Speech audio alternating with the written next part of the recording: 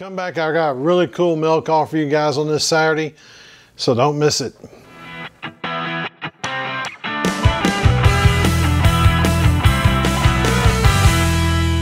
What's going on everybody? It's Patrick, Mid TN Outdoors. How is my outdoor crew doing on this Saturday? That's right, you get a Saturday video out of Mid TN Outdoors. But this is a really cool mail call that I got.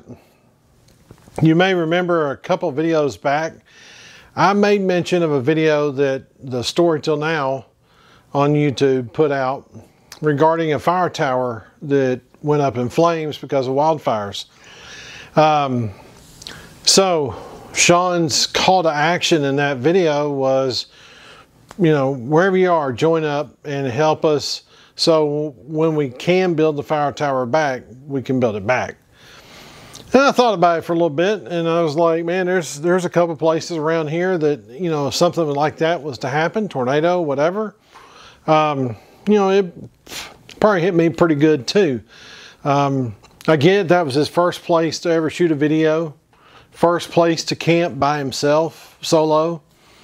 So there's a couple of those places around Middle Tennessee area. Uh, I would say Fall Creek Falls. Well, no, not Fall Creek Falls. I've never camped there solo. Well, no, I've never camped there solo. Huh, I just realized that. Uh, are several other camps close that I have done solo that if something was to happen to them, you know, it'd probably affect me the same way. My, my old Boy Scout camp, Camp Boxwell, just up the road, um, that my son even camped in. If something was to ever happen to it, I know it would hit me pretty good because there was a lot of years spent there. And there's a lot of memories there. I've got photographs over there from back then, 30, 35 millimeters. So I get where he was coming from on this. So I thought, why not? You know, I may never get there, but I think it'd be kind of cool. So I did. I uh, sent in my money to become a member of the Wheel Drive Association of BC. There's their sticker. And I got, they sent me a dash plaque to go, what I'm gonna do with this, I'm just gonna play a sticky place where you can stick it on the dash. And I, I used to get these all the time when I showed cars. There's some back up here behind me. I don't know if you can see them. I'm pointing at one right now. I don't know if you can see that or not. But there's a handful up there, some trophies from back when I used to show cars. But I, I used to get these little dash plaques. That always meant more to me than the sometimes than the trophy I got. Um, but they had a really cool calendar. This right here, uh, this calendar was awesome. There's some really cool scenes in it. Um, let me thumb through like this. I would, God, I would kill to see that in person, see some of these sites. Um, just the views. This is not, I don't think this is, let's see. No, this is another one, but that's that's a fire tower there in British Columbia. Um, I'm sure their next count. I mean, look at that. That is so cool, camping in the snow and stuff. Of course, I know you know I do some cold weather camping, but it's nothing compared to what they do. But just the sights and everything, me and Bill have talked about it. We wished we could get up there and camp with those guys. It just, I just think it'd be really cool to camp there. Um, what else did they send? They, um, this is really cool. It's uh, four wheelers code of con, uh, code of ethics. Tells you what you should and shouldn't do, and I mean it, all of it's common sense. Their mission statement, vision, objectives. Um, but basically, it's promoting recreation activities that involve the off pavement use of four wheel drive vehicles, thus encouraging shared land use and access to back country. Um, they are lucky because they have a lot of backcountry stuff. We just don't have that here. We don't have that.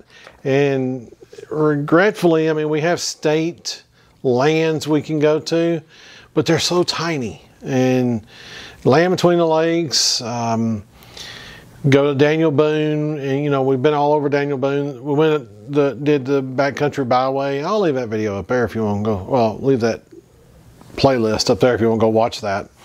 But we did the, you know, backcountry byway. That was super cool. And there's places to camp along the way on that too. Um, but this, this, the areas they go and camp in are just mind blowing.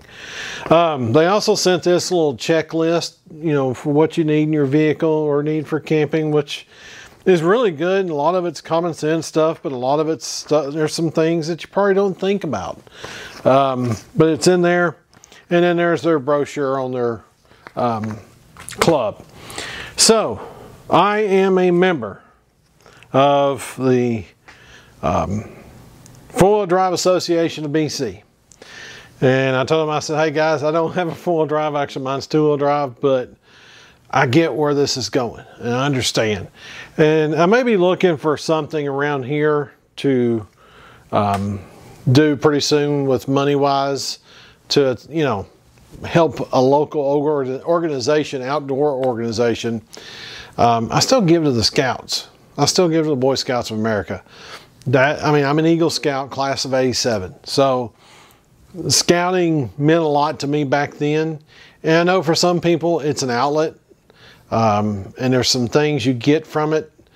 Get, you know, anyway, I'm not going to get into that. That's a whole different video.